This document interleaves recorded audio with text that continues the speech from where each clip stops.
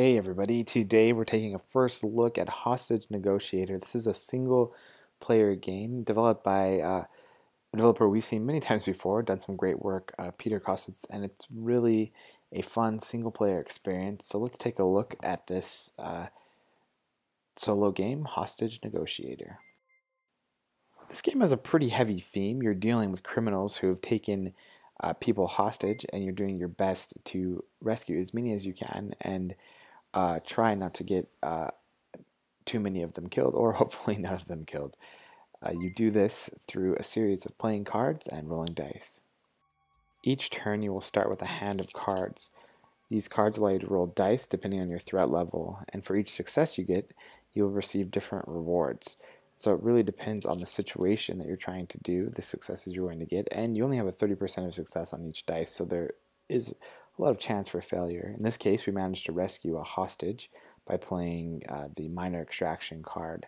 Whenever you play a card, that card actually leaves your pool, and you don't get the card back until uh, you purchase it again. So there are some cards that cost zero cost, or there are cards that cost uh, conversation points. You'll earn those by playing cards. So it's all a balancing act of trying to play as many cards as you can and then acquiring needed cards to uh, keep your engine flowing and heading towards your goals.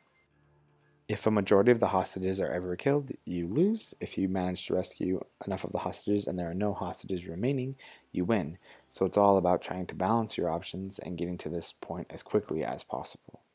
This game has a pretty dark theme, but I think it deals with it fairly respectfully. Um, it's not making jokes or anything like that. It's definitely you trying to deal with a, a, very intense situation, and it definitely creates a sense of hopelessness. At least in my early playthroughs, it's pretty challenging, and you're not going to succeed right away. But you definitely can see places where you could have improved and paths to move forward in the future.